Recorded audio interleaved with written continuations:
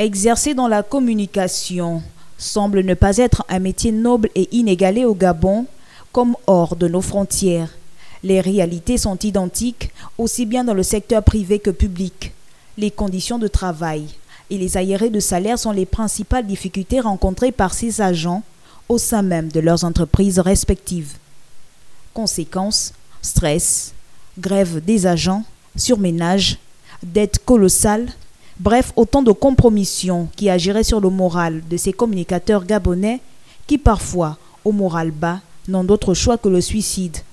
Tel est le cas de Pierre Marius Funges, devenu SDF et communicateur à la radio de la chaîne nationale qui s'est donné la mort le vendredi écoulé dans son bureau où il logeait depuis quelque temps, soulignant dans son testament souffrance et misère comme raison de son départ anticipé après avoir enduré 15 mois de salaire impayé et 13 mois d'impayé de frais de production.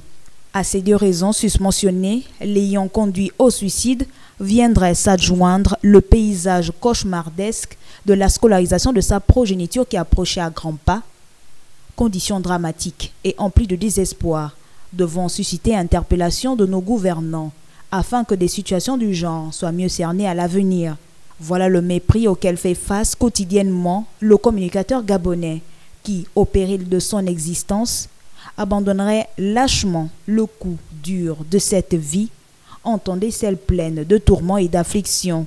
Vivement que des conditions, sous toutes ses formes, des communicateurs gabonais soient revues sous un meilleur jour.